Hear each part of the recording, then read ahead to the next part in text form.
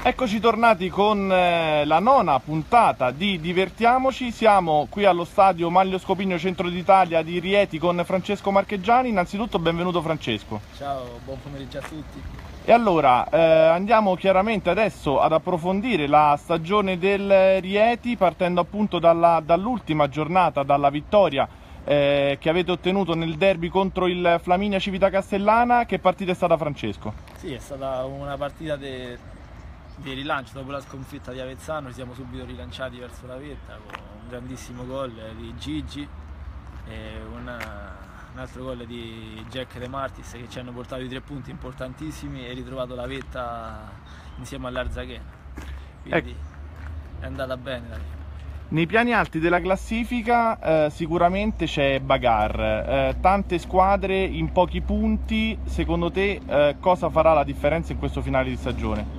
Sì, tra l'altro tutte ottime, anzi grandissime squadre, il Monterosi, lo Stiamare che se non sbaglio ha fatto 6 vittorie consecutive che stanno a 3 punti, poi l'Arzaghena che ha sbagliato da, se non sbaglio, da 21 partite, solo una sconfitta ha fatto, quindi eh, è molto difficile, sicuramente vincerà chi, chi farà meno errori, quindi arriveremo fino all'ultimo minuto dell'ultima giornata che secondo me sarà aperto il campionato. Mi auguro che poi si possa tornare qui a giocare la Lega Pro Chiariti.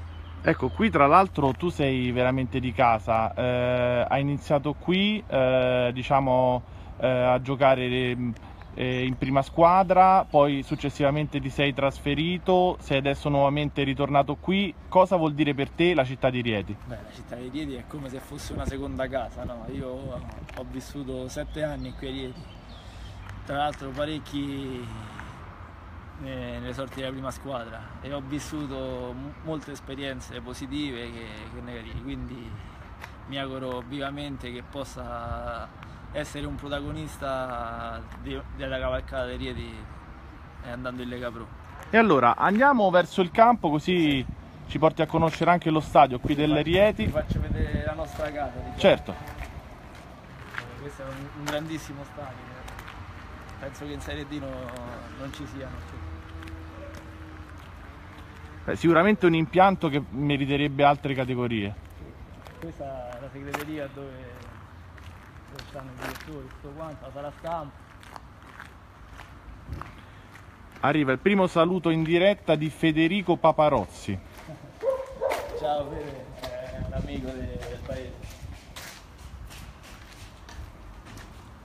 Poi vedi, troviamo qualcuno che va a fare assaggiato come al solito, eh? Bianchi! Niente, qui a destra si, si va al campo. Andiamo. Questo è proprio l'ingresso della domenica. Sì. Niente, guarda... Cioè, non, non c'entra questo stato in Serie D. Questo è Luciani, si sente Luciani?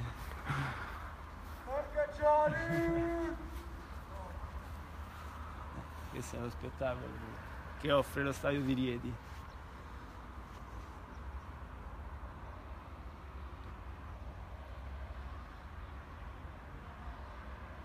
Sicuramente uno splendido impianto dove appunto il Rieti gioca tutte le gare casalinghe. Eh, dove nasce eh, calcisticamente Francesco Marcheggiani, quando nasce? E appunto sappiamo che sei di Terni. Sì, io sono nato a Terni perché le, le vicinanze de, dell'ospedale più...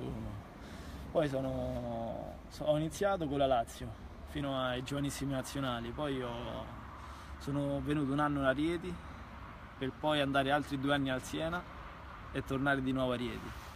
Poi ho iniziato i primi, diciamo, i primi calci con la prima squadra, quindi a Rieti e sono fortunatamente un'esperienza importantissima a Reggio Emilia con la Reggiana per poi tornare in Serie D a Maccarese. Ecco, noi ricordiamo perfettamente la stagione appunto prima del tuo trasferimento alla Reggiana eh, dove hai raggiunto il massimo eh, delle tue reti in una stagione, 28 reti in 31 presenze. Eh, che ricordi di quell'anno? Quella, quell'anno è stato un anno storico anche perché l'ultima vittoria dei Rieti è la Coppa Italia, no? quindi in eccellenza Poi 28 gol, insomma, no, se tu me, me li ricordo tutti quanti dal primo all'ultimo. È stata una grandissima annata, eravamo una squadra molto giovane, poi c'era il mister che, che c'è adesso, mister Paris, un grandissimo allenatore. E niente. Tra l'altro, se non eh, ricordo male, con tua rete in finale nella finale di Coppa Italia. Sì, giochiamo a Al Salario, Sport esatto. Village, perdiamo il primo tempo 1-0, poi la- ribaltammo l'ultimo quarto d'ora se non sbaglio, fece gol eh, a Cristian Ippoliti, grandissimo gol e poi feci un gol io, se te lo dico come è, nemmeno io so come, come ho fatto a mettere dentro quella palla. Ricordo bene. E a livello di eh, compagni di squadra, in questi anni di carriera, eh, chi è che ti è rimasto nel cuore, con cui hai magari stretto il miglior rapporto a livello umano? Beh, quell'anno in eccellenza ci fu Andrea Bucino, Diego Pedrungari che poi ci ho giocato altri anni, Tirelli, eh, anche Luciani quest'anno e stiamo sempre insieme insomma. Ecco, eh, diciamo all'interno di uno spogliatoio, eh, quanto è importante poi stringere anche al di fuori del campo? Nel Allora, frattempo arriva il saluto di Diego Pileri. il rapporto è importante perché poi arrivano anche i risultati, avendo un gruppo tutto raccolto, tutto unito, magari tante volte si getta pure il cuore oltre l'ostacolo, no? E quindi è importantissimo, soprattutto a questi livelli. Ecco, tu l'anno scorso eh, hai messo a segno in Serie D eh, 19 reti, quest'anno sei ad 8 gol, eh, speri di arrivare in doppia cifra? Sì, l'anno scorso è stata una grande annata anche. Arrivammo terzi a pari punti con la Torres, che in un campionato molto, molto difficile. Quest'anno sì, ho fatto meno gol, però mi auguro di vincere, vincere. Siamo partiti con l'obiettivo di vincere, speriamo di riuscire vincere. insomma. Ecco, tu hai parlato delle tue esperienze con la Lazio, con il Siena, ehm, avevi percezione anche di quello che accadeva in prima squadra, sei riuscito magari a rubare con gli occhi qualcosa a qualcuno? Sì, quando con la Lazio era difficile perché ero molto piccolo. Quando giocai a Siena facemmo molte partite co- con, la prima squadra, c'era Maccarone davanti, Portanova, e c'erano Manninger in porta, quindi Cozza, quindi ogni tanto cercavi di rubare con gli occhi. No? Ecco, e a livello di allenatori invece, ehm, da chi è che hai imparato di più in questi anni? Beh, sicuramente dal mister che ho avuto per tre anni. Poi ci ci sono altri grandissimi mister come Fabrizio Perotti, Zauli, alla Reggiana. Quindi ho, imparato molto anche da loro, soprattutto mi hanno insegnato tanto, dai. Cosa ti ha spinto dopo comunque le esperienze che hai fatto fuori dal Lazio, poi a rientrare qui eh, nel Lazio e proprio nel Rieti? Sì, prima di tornare a giocare a Rieti ho giocato anche a Gualdo Esatto. e ti posso dire lì è una, piazza, una bella piazza. Parecchi anni fa sfiorò anche la Serie B perdendo i playoff eh, con l'Avellino. no? Poi l'anno scorso c'è stata una, una, una chiamata insomma, qui a Rieti e mi si è aperto il cuore, no? quindi eh, qui a Rieti è, è casa mia. Ecco, tu sei classe 91, quindi ancora molto giovane. Ehm, hai già idea di quale possa essere il tuo futuro? Eh, ti sei legato, diciamo, a Rieti o comunque chiaramente magari poi a fine stagione eh, valuterai il tutto? No, magari se l'anno prossimo il Rieti mi vorrà sicuramente no, cer- cercherò di rimanere qui, però non si sa mai, no? Certo. Nella vita qualsiasi occasione poi mi auguro di, di arrivare più in alto possibile, che se non sarà facile perché come il calciatore è, difficile, ci sono tantissimi giocatori bravi, quindi morte tua vita mia, no? Ecco, tu di quale squadra sei tifoso? Io sono de- della Roma, E però è, è meglio che non... questo periodo è... è un periodo complicato. E, mm, qual è il tuo modello di riferimento come attaccante a cui ti ispiri? Guarda, uno degli attaccanti che mi piaceva di più era Fernando Torres, che tra l'altro giocò qui nella Scopigno Cup parecchi anni fa. E, cioè, a me piace tantissimo come giocatore, sia come posso dire, ha cambiato tantissime, tantissime squadre facendo bene sempre. Ecco, mh, proprio per mettere il dito nella piaga, eh, pensa, hai detto che sei tifoso della Roma, eh, qual è il tuo giudizio su Edin Dzeko? Eh, sicuramente è un giocatore che... Perché Giannico! Perché Giannico!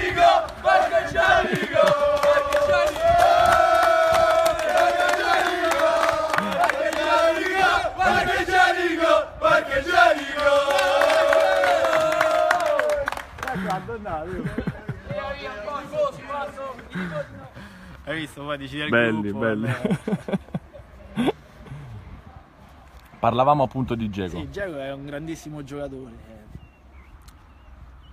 Mo, vedendo il derby ho pensato che se la Roma avesse un giocatore come Ciro Immobile, esatto. forse eh, aveva qualcosina, qualcosina in più ha avuto grosse difficoltà nella, nella, sua prima stagione e poi nella seconda stagione, nonostante le tantissime reti messe a segno, poi però nei momenti più complicati sembra sempre che manchi qualcosa. Sì, infatti stavo dicendo proprio prima con, con Marco che è mancato nelle partite importanti, è mancato nella partita di Lione, è mancato nel derby, allo Juventus Stadium, quindi secondo me fa un po' fatica nelle partite importanti. Ecco, quanto uh, sente le pressioni un attaccante eh, che magari appunto può aver passato una stagione particolare oppure può avere difficoltà nel, nel segnare un gol? Quanto è importante il gol per un attaccante? Beh, per l'attaccante il gol è vita, no? non vedi l'ora che attraversi quella riga per esultare con i compagni, per finalizzare il gioco de, di una squadra. Quindi per un attaccante è delicato il momento in cui non riescono le cose perché dici cavolo com'è possibile? Come è successo l'anno scorso a Geco l'ambientamento non è mai facile no? poi quest'anno ho visto 33 gol se non sbaglio è il marcatore più della storia della Roma, eh, della storia della Roma più importante. E niente quindi è sempre Tor- Tornando a parlare invece di Rieti, in conclusione, eh, domenica sicuramente arriva una sfida molto importante, ospitate la Nuorese, come state preparando questa sfida?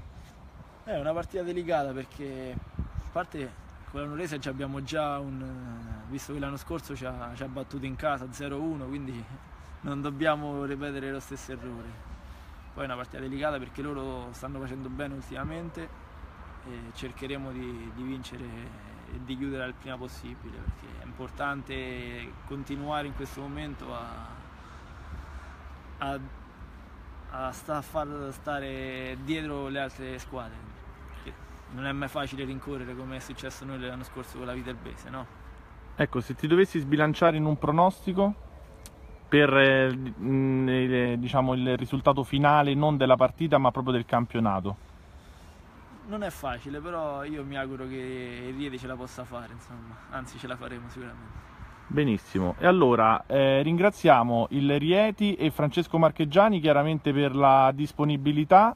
Eh, siamo in conclusione di questa nona puntata di Divertiamoci che sarà appunto visualizzabile sia sul, eh, sulla pagina Facebook di Gazzetta Regionale che poi sul canale YouTube ufficiale si concludono le nove società laziali di Serie D con questa rubrica che eh, appunto ha avuto anche la collaborazione della Lega Nazionale Dilettanti che ringraziamo per la condivisione di eh, tutte quante le rubriche, compresa questa che naturalmente verrà poi successivamente condivisa. Nell'ultimo mese ci occuperemo di uno speciale sull'eccellenza che poi verrà svelato direttamente lunedì in edicola su Gazzetta Regionale. Grazie Francesco Marcheggiani e se vuoi fare un saluto in conclusione puoi farlo a chi vuoi.